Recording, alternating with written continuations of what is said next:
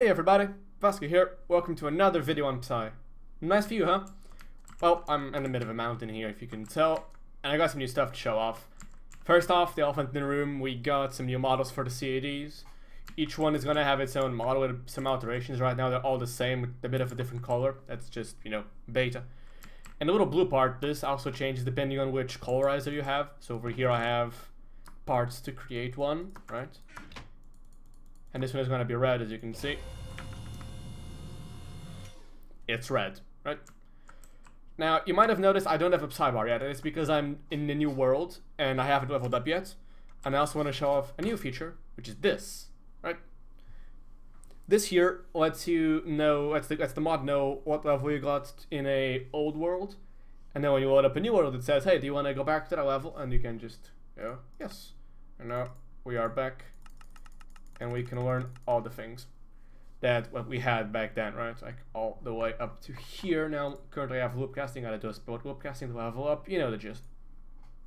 These two are new, Greater Infusion and Tool Casting, and so is Elemental Arts, but I'm gonna show off all these things in a moment.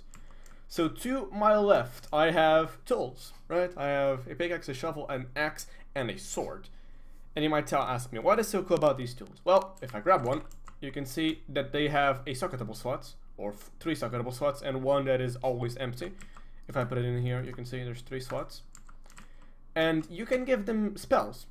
So, for example, the pickaxe, whenever I would break a block, it would cast the spell I would give it. So, this 3x3 one is almost the same as the one from the second video. If you hadn't watched that yet, I suggest you do. I changed some things around. We used to get a ray trace, now I'm using select a block broken, which gives you the position of the block you broke. And then there's also selected block broken side, which is kind of like um, the axial ray trace, gets you the side of the block you broke. Then all the rest is just the same, just basically copied it from the old video. Over here, same thing, Decapitator, you get the block broken, breaks 8 up, 3 breaking. For the sword, whenever you attack a mob, you can use select attack target, that gives you the mob you attacked, and then you can do something. So this is the Levy Sword. It is going to make any mob you attack fly up in the air. So let's take care of all these things. I'm gonna grab my axe as well. I don't need the shovel, but I'll grab the axe. I'm gonna grab some bolts.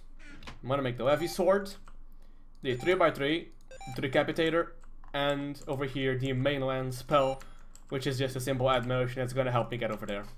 Alright, so for the pickaxe, 3x3. For the axe, the Decapitator.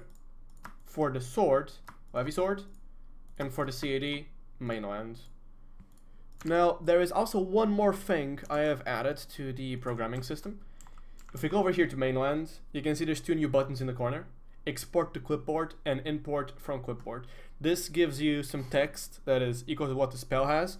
So for example, if I go here, now this is my stream setup, so it has stream stuff in the bottom, don't worry about that. If I bring this over here, you can see this is the output of the mainland spell. It's a big little string of not not little, just a big string of JSON. You can then put on a website or whatever, and then someone else can copy and put them in a world. This one over here, I'm gonna import. So import from clipboard, and we now have a bone meal around spell. Let me go back to Minecraft. And this is making use of one of the tricks from Elemental Arts. This is trick overgrow. This is equivalent to bone meal. And there's also a operator random, which gets a number between 0 and the given number exclusively. So it gives one between it gives you one between 0 and 9. So no, between 0 and 8 because 9 is exclusive. So that's going to be useful because it is going to uh, help me with that plantation over there. Right?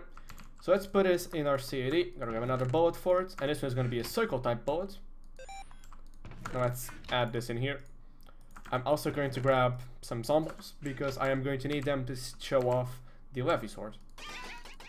Alright, let's go over here, take some damage, use up a lot of Psi, and let's show off some of these spells. Let's start with the Psimetal one, the 3x3. This is doing exactly as you'd, as you'd expect. Now, take a look at my Psi bar. If you see, it is slowly going down. It goes down in bursts. That is because the pickaxe is regenerating slowly using my Psi energy. It takes a little bit if every few seconds, right? Now, of course, when I cast the spell, it's also going to take uh, that, that is the cost of the spell. If I drop my CAD, I can't cast any spells because this requires me to have a CAD to do the calculations and all that stuff. Alright, now let's show off the axe. Axe is a very basic Precapitator. Does exactly as you'd expect and gives me achievements because it's a new world. There you go. Axe and some stuff. If you don't want anything, you can just disable it and there you go. No Precapitator. Oh, this is a good opportunity to test out the Levy Sword as well. Right? So you can hit a mob and they go flying about. You, you saw nothing. Now, I want to show you the Bone Meal Around spell. Now, you can see that I have a little plantation here. I'm going to make a spell circle right in the center here. It's going to be red because my CAD is red. I took damage because I am out of Psi. I used it for the sword and for regenerating. But now you can see it's bone milling all over the place. Alright. If I do it again, I'm probably to take damage again.